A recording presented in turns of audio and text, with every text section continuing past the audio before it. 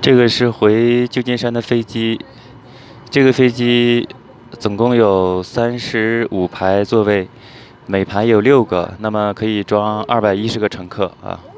这个应该是经济舱吧啊，加上头等舱的什么的加一起，是不是得有二百三四十个呀？差不多啊。今天是晚点了，在这边盐湖城机场在这等着呢啊。原定是晚上十点二十起飞，现在呢，呃是。马上到十一点了啊！后来说推迟到十一点十分起飞，呃，说是旧金山这边下雷阵雨，天气不好，所以一直等着旧金山那边天气情况缓解啊。现在是盐湖城机场，盐湖城机场也比较大啊，这个城市也很大啊，感觉还不错。这个航空公司是三角洲的航空公司，这个飞机它的机翼呢有点像鲨鱼的尾巴，看它这个机翼就这个上边一个，下边一个是吧？啊，就是。它这个尾巴是开叉的，这个机翼这个很有特点，嗯，觉得它这个还不知道什么原理啊。这个飞机就比从科罗拉多州大张克申往盐湖城飞的飞机大多了。那个飞机大约是装七八十个人吧，嗯，这个飞机很大，但是没有多少乘客，基本上这个时间啊，好像都没有人啊。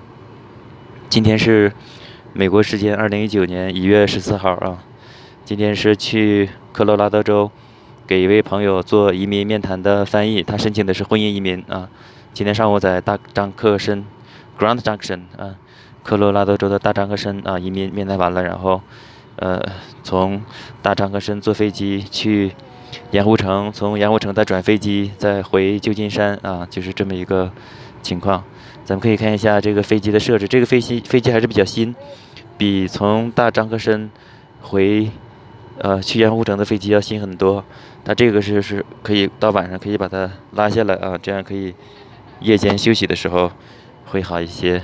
然后这个呢是它的起飞的时候这样这样呈闭合状态，然后喝水的时候呢可以把它打开啊，这样的。这样打开之后呢，我觉得这个还可以往后拽一下是吧？然后不用的时候推一下，然后再这样的就给它合上了。应该还有电视屏幕。然后呢，这边应该好像是 USB 充电口啊，这边是插耳机的，好像是啊。然后这个上边这个灯呢，大体是上面写着“救生马甲在你的座位底下”啊，固定带儿，呃，做好之后就要去呃去把这个带儿固定带儿固定好。座位底下有这个救生马甲吗？啊，到底是看不到，看不到啊，啊，看不到，摸一下。应该是有是吧？啊，它有一个，有个这样袋儿，啊，对，应该是有，对，应该是有，但是我没有弄太明白怎么把这个救生马甲拿，救生马甲拿出来，啊，我比较笨嘛，我是比较笨的一个人，啊，啊，所以反正大体就这样吧，呃，这个行李呢，我是放在了双肩背，我是放在了我的脚这个地方，也可以放在这个上边，放在这个行李箱里啊。呃，放在脚下吧，反正也习惯了啊，也行吧啊。这个上边大体上就是这些调这个灯的是吧？这个灯可以关它。然后呢，这个这我弄不太明白，这调风向的吧是吧？调风向的可能是啊。对，大体就是这么一个情况啊。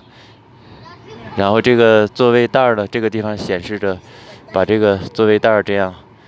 要把这个行李这个安全带给扣上啊，这样显示的，大体就是这么一个状况啊。这个飞机比较新啊，我比较喜欢这个飞机啊，比较新，然后布局也是很很好看的一个布局，能坐二百多个乘客，还是挺不错的啊。大体就是介绍这么多情况。现在飞机在等待起飞的这个指令啊，现在还在等着。呃，预定呢是十一点十分起飞啊，现在呢反正就得等着等一下看啊。我到了。科罗拉多州的大张克山之后，发现那里的时间比比旧金山差一个小时。比如说，旧金山是上午十一点，那里就是上午呃上午十二点啊，就是比旧金山要早快一个小时啊，快一个小时啊。所以现在就是盐湖城机场这么一个情况。嗯，好啦，再见了，大体就这么一个情况。然后就准备一会儿飞机起飞，就准备在旧金山。